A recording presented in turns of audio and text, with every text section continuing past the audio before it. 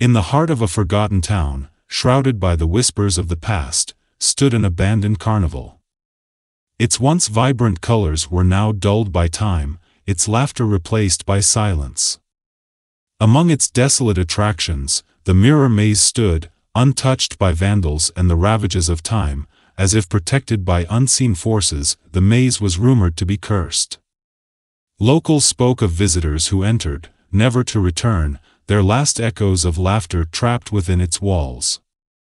It was on a dare that Alex and Sam, two thrill-seekers with a penchant for the paranormal, decided to explore it one fateful night. The air was thick with mist as they approached, the entrance to the maze beckoning them with an eerie silence. The moment they stepped inside, the atmosphere changed. The air became colder, the silence deeper.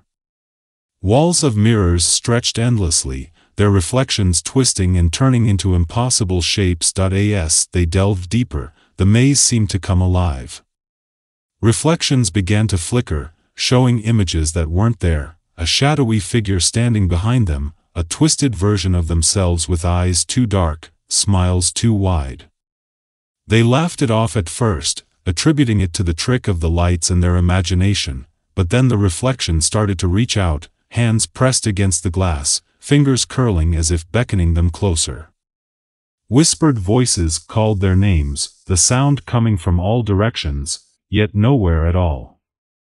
The laughter of unseen children echoed, bouncing off the mirrors, playing a symphony of dread, panic set in as they realized the maze was reshaping itself, paths leading to dead ends, familiar turns becoming unfamiliar.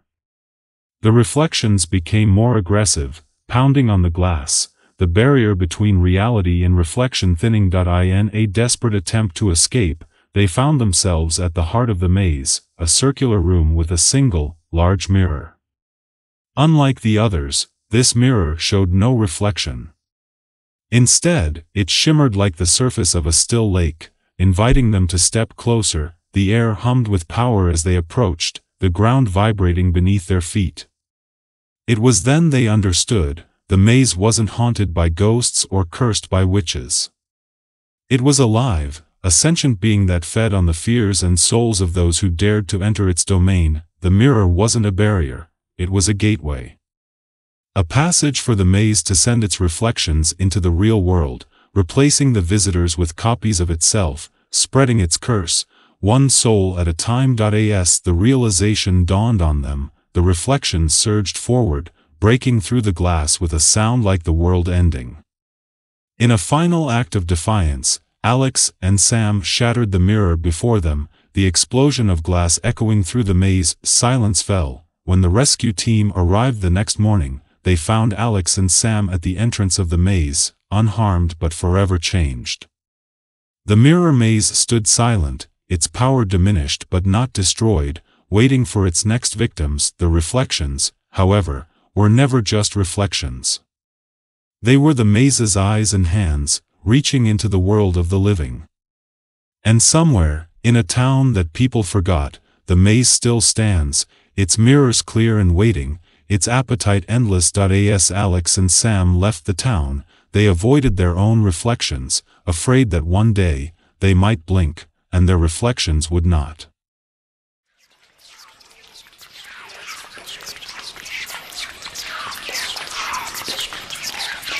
In the shadow of the overgrown willows, the old mill stood as a relic of a bygone era, its once thriving gears now silenced by decades of neglect. The village elders spoke of it in hushed tones, warning the curious away with tales of the ghost of Jasper Morley, a worker who met his untimely demise in the mill's grinding gears, consumed by the very machine he served. The story begins with Lena, a young and ambitious writer fascinated by the supernatural, seeking inspiration for her next book. Despite the villagers' warnings, she was drawn to the mill, her curiosity ignited by the tales of Jasper's restless spirit. Armed with her camera, voice recorder, and a steely resolve, she crossed the threshold into the mill, unaware of the true horror that awaited her. The interior of the mill was a catacomb of rusted machinery and cobweb-laden beams, the air thick with the stench of mold and decay. Lena's footsteps echoed through the empty corridors, a symphony of solitude that was suddenly interrupted by the faint sound of machinery grinding into life. Startled, she followed the sound, her recorder capturing the phantom echoes of the past. As night fell, the mill transformed.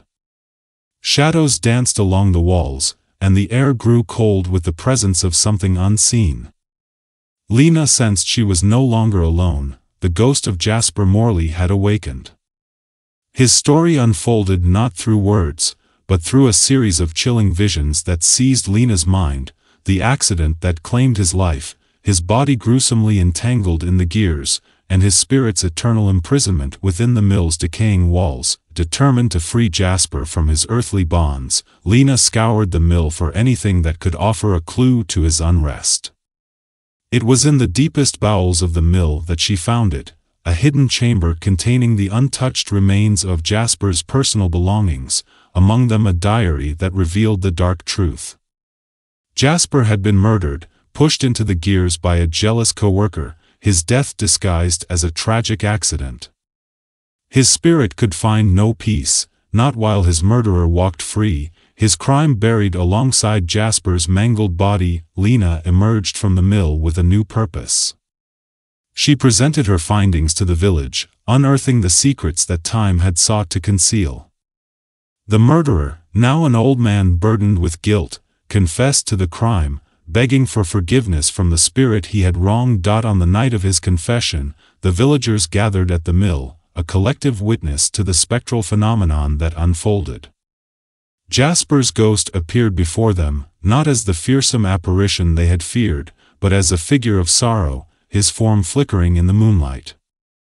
With the truth revealed and his story told, Jasper's spirit was finally released, dissipating into the night air with a whispered thank you that rustled the leaves of the willow trees. The old mill stands still, a silent guardian of the past, but no longer a place of dread. Lena's bravery had not only uncovered a buried injustice but had also laid to rest the ghost of the old mill. Her story, however, was far from over.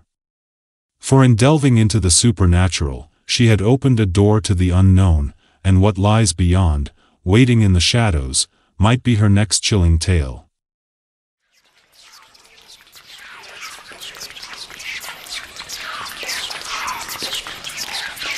In the quaint, fog-swathed village of Ellsworth's Hollow, nestled between whispering forests and somber hills, there stood an ancient, ivy-clad manor known to the villagers as the Hallowmere Estate. For generations, it had been the subject of whispered tales and superstitious murmurs, all because of one peculiar, inexplicable phenomenon, the appearance of ghostly handprints on the windows, always found in the chilling light of dawn, fingers splayed wide as if pressing from the other side, seeking entrance or perhaps signaling a desperate plea from within. The story begins with the arrival of the Grayson family, who, unaware of the manor's eerie reputation, were charmed by its antique allure and the sprawling beauty of its neglected gardens. They laughed away the warnings of the locals, attributing the tales to rural superstitions. But their skepticism was soon to be challenged, the first of the handprints appeared on the morning following a tempestuous night, vivid against the condensation of the master bedroom window. The print was small, delicate, almost childlike. Clara Grayson, the youngest of the family, was fascinated, pressing her own hand against it, marveling at the difference in size.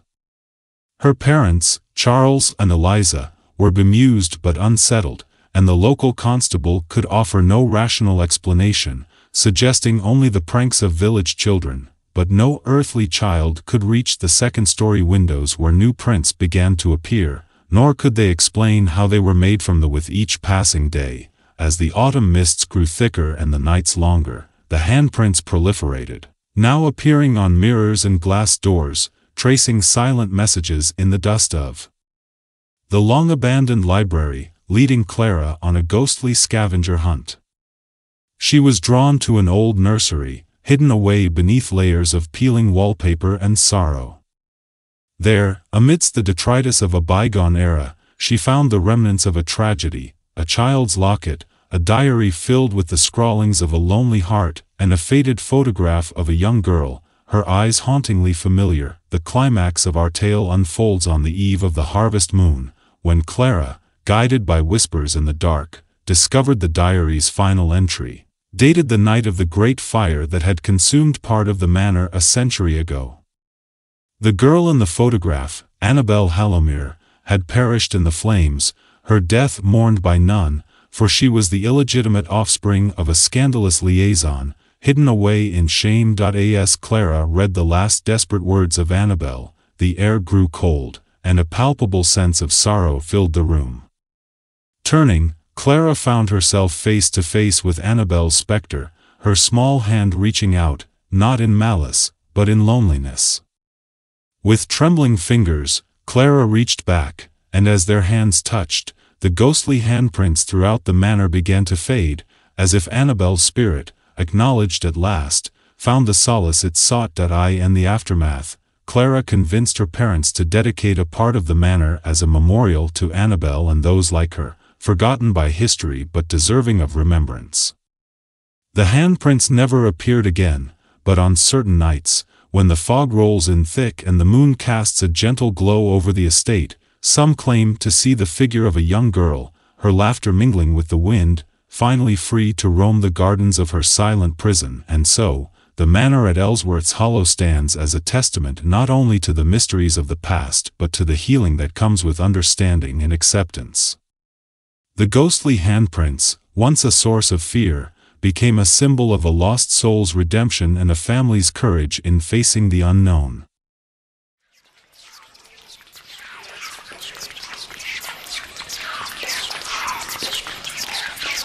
In the heart of an ancient, fog-swathed forest, obscured by the gnarled arms of timeless trees and enveloped in an ever-present, suffocating silence, stood the Chapel of Lost Souls.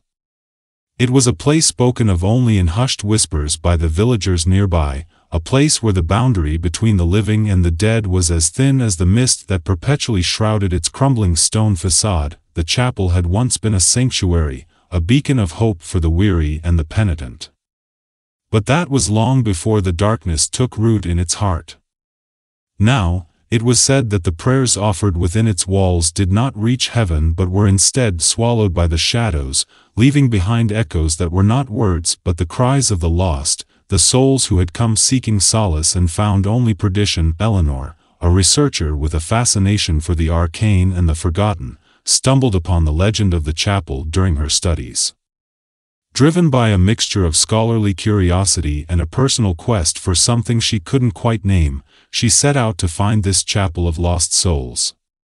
The villagers she encountered on her journey spoke of the chapel as if it were a living thing, warning her to stay away lest she become another whisper in the wind, another soul ensnared by its curse. Undeterred, Eleanor ventured into the forest. As she drew closer, the silence grew oppressive, and the air turned cold with the chill of unseen gazes upon her. Finally, the chapel loomed before her, its architecture a grotesque parody of sanctity, with spires that seemed to claw at the gray sky above. Inside, the chapel was vast, far larger than its exterior suggested. Stained glass windows, obscured by years of neglect, filtered the outside light into hues of blood and shadow, casting eerie patterns on the stone floor. The pews were empty, save for a layer of dust that seemed undisturbed by time. Eleanor approached the altar, her footsteps echoing in the unnatural silence. It was then she heard it, a whisper, soft and sorrowful, a lament that seemed to seep from the very walls around her. More voices joined, a symphony of despair that filled the air, growing louder, more insistent, frightened yet compelled, Eleanor realized the voices were not merely echoes but the souls themselves, trapped within the chapel, their cries woven into the fabric of the place. As she listened, the voices began to change, morphing from cries of despair into something darker, angrier. They were not asking for help, they were hungry, panic set in as the realization dawned on Eleanor. The chapel did not trap souls by accident, it was built for this purpose, a beacon not for the lost, but for something far older and malevolent, something that fed on despair and sorrow. The prayers did not echo, they were consumed, fuel for an ancient darkness that lurked beneath the chapel, awakened now by her presence. As the shadows began to coalesce, forming shapes both grotesque and pitiful, Eleanor understood too late that the chapel did not just house lost souls, it created them. And as the darkness enveloped her, her own cry joined the chorus, another lost soul in the chapel of lost souls, where prayers echo with the cries of the lost, never to be heard beyond its accursed walls. But the story doesn't end with Eleanor's demise. The chapel stands still, hungering, drawing the curious and the broken with whispers of solace. And so the cycle continues, the chapel feeding, growing stronger with each soul that believes it can defy the curse of the chapel of lost souls.